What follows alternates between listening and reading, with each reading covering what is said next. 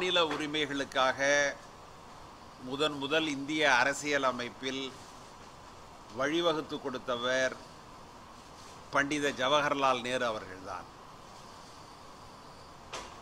ஒரு நாடு ஒற்றுமையாக பலமாக இருக்க வேண்டும் என்று சொன்னால் மாநிலங்களும் பலமாக இருக்க வேண்டும் என்ற சித்தாந்தத்தை உருவாக்கியவர் அவர்தான். அதனால்தான் மொழிவழி மாநிலங்கள் என்று மாநிலங்களை பிரித்து இந்தியாவினுடைய ஒற்றுமையை அதிகப்படுத்தியவர் மத்திய அரசாங்கத்தினுடைய உரிமையை மாநிலங்களுக்கு மாற்றியவர் ஜவஹர்லால் நேரு அவர்கள் காங்கிரஸ் கட்சி. அதன் பிறகு தொடர்ச்சியாக விடுபட்டிருந்த உரிமைகளை பெற்றுக் கொடுத்தவர்கள் டாக்டர் கலைஞர் அவர்கள் ஜோதிபாஸ் அவர்கள் ஜெயலலிதா அவர்கள் இவர்களெல்லாம் அந்தந்த காலத்தில் அதற்காக போராடி அந்த உரிமைகளை பெற்றிருக்கிறார்கள். ஆனால் முதன்முறையாக மாநில உரிமைகளை முழுமையாக அடகு வைத்த ஒரு அரசியல் கட்சி ஒரு அரசாங்கம் இருக்கிறது என்று சொன்னால் அது எடப்பாடி அவர்களுடைய தலைமையில் இருக்கிற அதிமுக அரசாங்கம்தான். தமிழகத்தினுடைய நலன்களுக்காக காவிரி மேலாண்மை வாரியம் அமைக்கப்பட்டது. ஆனால் இது நாள் வரை காவிரி மேலாண்மை வாரியத்திற்கு நிரந்தரமான ஒரு தலைவர் கிடையாது. மத்திய நீர்வளத்துறை அமைச்சகத்தினுடைய செயலாளர் தான் தலைவராக இருந்து செயல்படுகிறார். அவர் பாரதிய ஜனதா அமைச்சர் கட்கரியினுடைய கட்டுப்பாட்டிற்கு கீழ் இருக்கிறவர். குறைந்தபட்சம் காவிரி மேலாண்மை வாரியத்திற்கு ஒரு நிரந்தர தலைவரை கூட பெற்று தர முடியாத அதிமுக அரசு மாநில உரிமைகளையே நாங்கள் மீட்டெடுப்போம் என்று சொன்னால் கேட்பதற்கு அது வேடிக்கையாக இருக்கிறது. மிகவும் தர்ம சங்கடத்தையும் அது ஏற்படுத்துகிறது. கஜா புயல் ஏற்பட்டது. தொடர்ச்சியாக பல்வேறு இடர்பாடுகள் ஏற்பட்டன.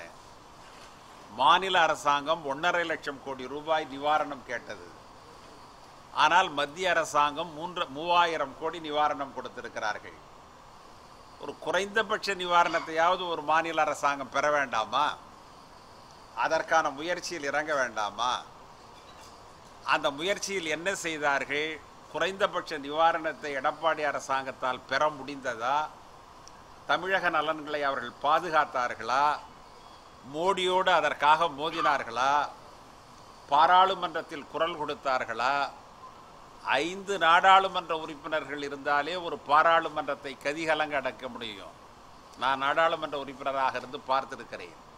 ஆனால் ஐம்பது நாடாளுமன்ற உறுப்பினர்களை வைத்துக்கொண்டு மாநிலத்திற்கு தேவையான நிதியை கூட பெற முடியாத ஒரு ஆட்சி தமிழகத்தில் நடந்திருக்கிறது என்று சொன்னால் இந்த எழுபது ஆண்டு கால வரலாற்றில் அது எடப்பாடி அரசாங்கம் தான் முதன் முதல் அப்போ அது நடந்து கொண்ட விதம் எடப்பாடி அரசாங்கம் தான் எனவே மாநில உரிமைகளை மீட்டெடுப்போம் என்று அவர்கள் சொல்வது பத்திரிகை செய்திக்கு நன்றாக இருக்குமே ஒழிய வேறு எதற்கும் அது இருக்காது.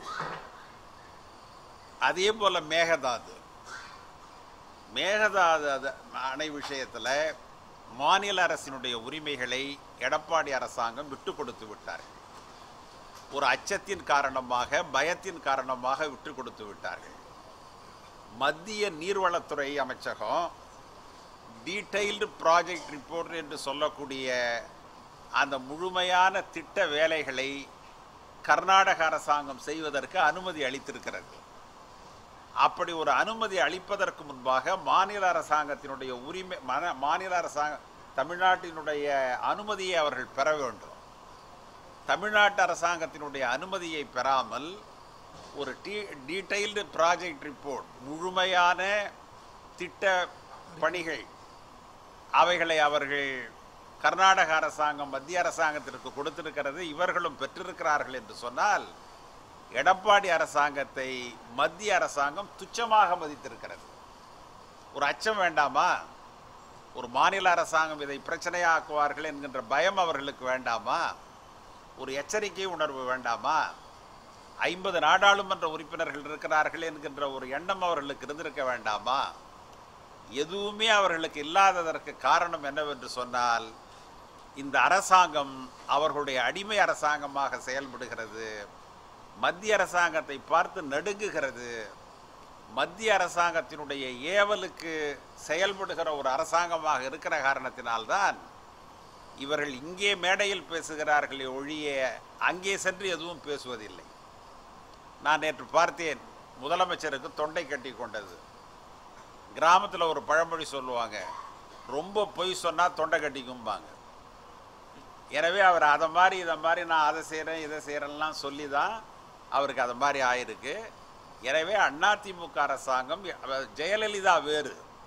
ஜெயலலிதாவிற்கும் எங்களுக்கும் ஏராளமான கருத்து வேறுபாடுகள் கொள்கை வேறுபாடுகள் உண்டு. ஆனால் ம மத்திய அரசாங்கத்தோடு அவர்கள் உரிமைகளை கேட்டு பெறுவதில் அந்த அம்மையார் மிக உறுதியாக இருந்தார். ஆனால் அந்த உறுதி அந்த தைரியம் அந்த வீரம் இவர்களுக்கு கிடையாது. எனவே இந்த அதிமுக அந்த அதிமுக அல்ல.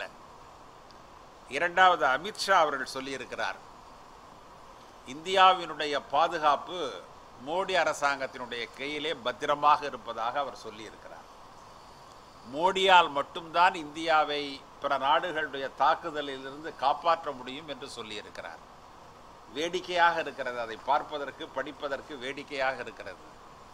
கிராமத்தில் சொல்லுவார்கள் நொண்டி மாந்தோப்பை பாதுகாத்தது மாதிரி என்று சொல்லுவார்கள். ஒரு ஊனமுற்ற ஒருவர் ஒரு மாந்தோப்புக்கு காவல்காரராக இருப்பார். அவர் ஊனமுற்றவர் என்பது அங்கே செல்லுகிற அந்த பையனுக்கு தெரியாது. போய் மாங்காயை அடிக்கிறதுக்கு போனால் இவரை பார்த்துட்டு பயந்துக்கிட்டு இருப்பாங்க. ஒரு நாள் ஒரு பையன் கண்டுபிடிச்சிருவான் அவர் ஊனமுற்றவர் அதனால் அவரால் வந்து ஒன்றும் செய்ய முடியாதுன்னு. எனவே அவன் போய் மாங்காயை பறிச்சுக்கிட்டு போயிடுவான் இவரால் ஒன்றும் செய்ய முடியாது. அப்படித்தான் மோடி இந்த நாட்டினுடைய பாதுகாப்பிற்கு இருக்கிறாரே ஒழிய உண்மையான பாதுகாப்பிற்கு அவர் பாதுகாவலராக இல்லை என்பது எங்களுடைய குற்றச்சாட்டு.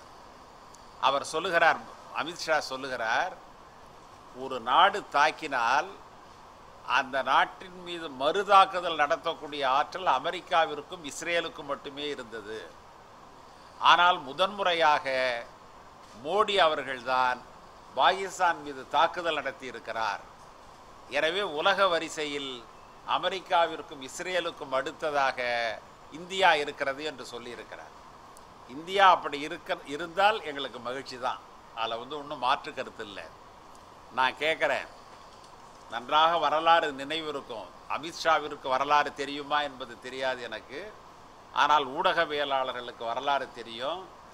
அன்னை இந்திரா காந்தி அவர்கள் வங்காளதேச பிரச்சனை வந்த பொழுது தன்னுடைய இராணுவத்தை அங்கே அனுப்பி பாகிஸ்தானை தோற்கடித்து வங்காளம் என்ற ஒரு நாட்டை உருவாக்கி நம்முடைய பூகோள அமைப்பிலே ஒரு புதிய நாட்டை உருவாக்கிய ஆற்றலும் வலிமையும் உடையவர் அண்ணா இந்திரா காந்தி அவர்கள் காங்கிரஸ் கட்சி. எனவே நாங்கள் அதிலே சாதனை செய்திருக்கிறோமா? இவர்கள் சாதனை செய்திருக்கிறார்களா? நீங்கள் விமானத்தை அனுப்பினதாக சொன்னீர்கள். விமானம் குண்டு போட்டதாக சொன்னீர்கள். முன்னூற்றி ஐம்பது பேர் இறந்து போனதாக சொன்னீர்கள். நீங்கள் தான் சொல்லி கொண்டிருக்கிறீர்களே ஒழிய உலகத்தில் இருக்கிற எந்த தொலைக்காட்சியும் எந்த பத்திரிகையும் அந்த செய்திகளை உண்மை என்று சொல்லவில்லை. விமானம் சென்று தாக்கியது உண்மை. முன்னூற்றி ஐம்பது பேர் இறந்திருந்தால் பிபிசிக்கு தெரிந்திருக்காதா? சிஎன்என்னுக்கு தெரிந்திருக்காதா? எல்லாம் எதுவுமே வரல. நான் எதற்கு சொல்லுகிறேன் என்றால் ஒரு தாக்குதல் நடைபெற்றது அவ்வளவுதான். அதை மாதிரி துல்லிய தாக்குதல்கள் ஏராளமாக நடந்திருக்கிறது. மன்மோகன் சிங் காலத்திலும் நடந்திருக்கிறது. துல்லிய தாக்குதல்களை அரசியலாக்குவது கிடையாது. துல்லிய தாக்குதல்களை வெளியே சொல்வது கிடையாது. அப்படியே சொன்னால் கூட இராணுவ தளபதி சொல்லுவார் இந்திய வெளியுறவுத்துறை செயலாளர் சொல்லுவாரே ஒழிய கட்சியினுடைய தலைவர் சொல்ல மாட்டார். ஆனால் இந்த துல்லிய தாக்குதலை சொன்னவர் அமித்ஷா அமித்ஷா எப்படி சொல்ல முடியும்? இந்திய இராணுவத்தினுடைய ஒரு நடவடிக்கையை பற்றி பாரதிய ஜனதா கட்சி தலைவர் சொல்லுகிறார் என்றால் அதனுடைய பொருள் என்ன? எடியூரப்பா சொல்லுகிறார் இந்த தாக்குதலின் மூலமாக நாங்கள் கர்நாடகத்திலே இருபத்தைந்து நாடாளுமன்ற தொகுதிகளை வெல்லு வெல்லுவோம் என்று சொன்னால் இந்திய இராணுவத்தினுடைய தியாகத்தை அவர்கள் சிந்திய இரத்தத்தை உங்களுடைய தேர்தலுக்கு நீங்கள் பயன்படுத்திக் கொள்கிறீர்கள். எனவே பாரதிய ஜனதா அரசாங்கம் மிகவும் ஒரு மோசமான சூழலிலே இயங்கி கொண்டிருக்கிறது. அவர்களுக்கு நாட்டுப்பற்று கிடையாது. நீங்கள் வந்து இந்த நாட்டில் சுதந்திர போராட்டம் நடைபெற்றது. வாஜ்பாயிலிருந்து ஆரம்பித்து மோடி வரை யாராவது ஒரு பாரதிய ஜனதா தலைவர் இருபத்தி நான்கு மணி நேரம் சுதந்திர போராட்டத்திற்காக சிறையிலே இருந்ததாக வரலாறு உண்டா? அவர்கள் சொல்லுகிறார்கள் இந்திய இறையாண்மையை நாங்கள் பாதுகாப்போம் என்று சொல்லுகிறார்கள். எனவே இதை நாங்கள் வன்மையாக கண்டிக்கிறோம். காங்கிரஸ் கட்சி திராவிட முன்னேற்ற கழகம் எங்களுடைய கூட்டாளி கூட்டணி கட்சிகள் மகத்தான வெற்றியை பெறுவதற்கான வாய்ப்பு இருக்கிறது. குறிப்பாக தமிழகத்திலே திராவிட முன்னேற்ற கழக தலைவர் செல்லுகிற கூட்டங்களுக்கு பல்லாயிரக்கணக்கான மக்கள் திரண்டு வருகிறார்கள். எழுச்சியான கூட்டம் நடைபெறுகிறது. மக்களுடைய வருகை இயல்பாக இருக்கிறது மாபெரும் எழுச்சி ஏற்பட்டிருக்கிறது எனவே நாங்கள் வெற்றியை பெறுவோம் என்பதை நான் உங்களுக்கு தெரிவித்துக் கொள்கிறேன்.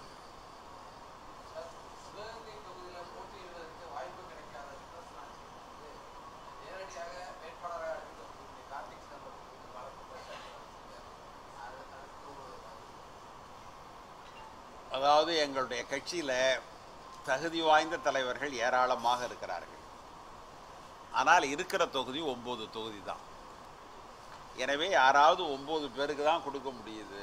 மற்றவர்களுக்கு வருத்தம் வருவது இயல்பு தான் ஆனால் என்னுடைய அனுபவம் என்னுடைய கருத்து என்னவென்று சொன்னால் எனக்கு கூட இரண்டு முறை தேர்தலிலே வாய்ப்பு கொடுத்து அகில இந்திய காங்கிரஸ் கமிட்டி என்னை அறிவித்து நானும் இரண்டு தினங்கள் சென்று வாக்கு சேகரித்து அதன் பிறகு என்னுடைய பெயர் மாற்றப்பட்டு வேறு வேட்பாளர்கள் அந்த பகுதிக்கு வந்திருக்கிறார்கள்.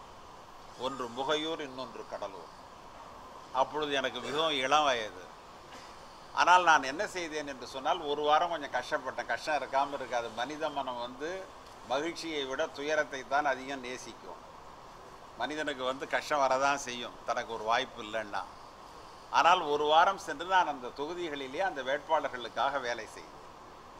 நான் தலைவர் நாச்சியப்பன் அவர்களுக்கு நான் சொல்கிறது என்னென்னா அவர் மிகவும் தகுதியானவர். அவர் அமைச்சராக இருந்திருக்கிறார் நாடாளுமன்ற உறுப்பினராக இருந்திருக்கிறார். கட்சியினுடைய அகில இந்திய தலைமை ஒரு முடிவு எடுத்திருக்கிறது. உடனே அந்த முடிவை ஏற்றுக்கொள்வது தான் சிறந்ததே ஒழிய முடிவிற்கு மாறாக பேசுவது என்பது ஒரு தலைவர் செய்கிற காரியம் அல்ல. அது அப்படி செய்யக்கூடாது. ஏனென்று சொன்னால் ஏனென்று சொன்னால் இப்பொழுது பல தோழர்களுக்கு ராகுல் காந்தியை சந்தித்து பேசுவதற்கான வாய்ப்பு கிடைக்காது. ஆனால் நாச்சியப்பன் அவர்களுக்கு கட்சியினுடைய தலைமையோடு மிக நெருங்கிய தொடர்பு உண்டு. எனவே தன்னுடைய கருத்துக்களை கட்சி தலைமையிடம் அவர் சொல்லலாம். அடுத்தது அந்த தொகுதியிலே இரண்டு பேர் தான் விண்ணப்பித்திருந்தார்கள். ஒன்று கார்த்தி சிதம்பரம். கார்த்தி சிதம்பரத்திற்காக எட்டு விண்ணப்பங்கள் வந்திருந்தன. நாச்சியப்பன் அவர்களுக்காக ஒரு விண்ணப்பம் வந்திருந்தது. தலைவர் ராகுல் காந்தி அதிலே முடிவெடுத்தார். முடிவெடுத்து அவருக்கு கொடுத்திருக்கிறார். உடனே அதற்கு நாம் தலைவணங்க வேண்டுமே ஒழிய இதற்கு எதிராக நாம் பேசினால் இது கார்த்தி சிதம்பரத்திற்கு எதிராக பேசுகிறோமா கட்சியினுடைய தலைமைக்கு எதிராக பேசுகிறோமா என்று நாம் யோசிக்க வேண்டும். வருத்தம் இருக்கும். நான் வருத்தத்தை குறைச்சி சொல்லலை ஆனால் வருத்தத்தை வெளிப்படுத்துகிற விதம் தவறான விதம். நான் ஏற்கனவே சொன்ன பதில் அதுக்கு தான் ரெண்டாவது அவரை எதிர்த்து நான் போட்டிட்டு அவரை தோற்கடிச்சதுனால அந்த பழைய வன்மத்துல என்னோட வளர்ச்சியை கூட தடுக்கிறாரு அப்படின்னு சொல்லியிருக்காரு இதை எப்படி தான் பாக்குறீங்க நான் ஏற்கனவே சொன்ன பதில் அதுக்கு தான் சார், ராகுல் காந்தி பிரதமராவது சிதம்பரத்துக்கே பிடிக்கல அப்படிங்கிற ஒரு கருத்தை சொல்லியிருக்காரு. தொடர்ந்து வந்து குடும்பமே பெயில்ல இருக்கு சொத்துக்கள் வெளிநாட்டுல இருக்குன்னு ஹெச் ராஜா என்ன கருத்தை சொல்றாரோ அதை வந்து சுதர்சன நாச்சியப்பன் சொல்றாரு இது ஹெச் ராஜாக்கு ஆதரவா போவாதா நீங்க எதிர்க்கிற பாஜகவுக்கு இது ஆதரவா போவாதா நீங்க இந்த கேள்வியை அவரை கேட்டீங்கன்னா நல்லா இருக்கும்ல. நியூஸ் அண்ட் அப்டேட்ஸை தொடர்ந்து பார்க்க ஏஷியாநெட் தமிழ் பேஜ்ல சப்ஸ்கிரைப் ஆப்ஷனை கிளிக் பண்ணி பக்கத்துல இருக்கிற பெல் ஐக்கானையும் கிளிக் பண்ணுங்க.